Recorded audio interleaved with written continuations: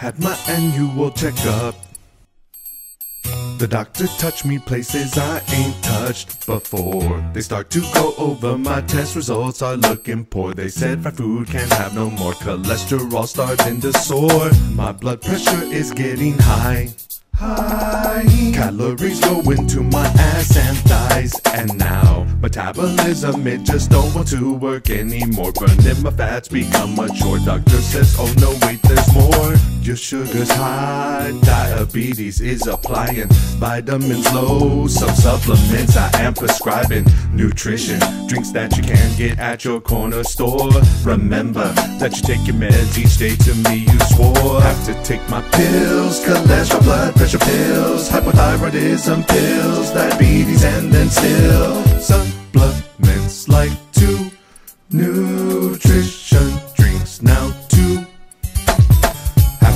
my pills, cholesterol, blood pressure pills, hypothyroidism pills, diabetes, and then still supplements like to nutrition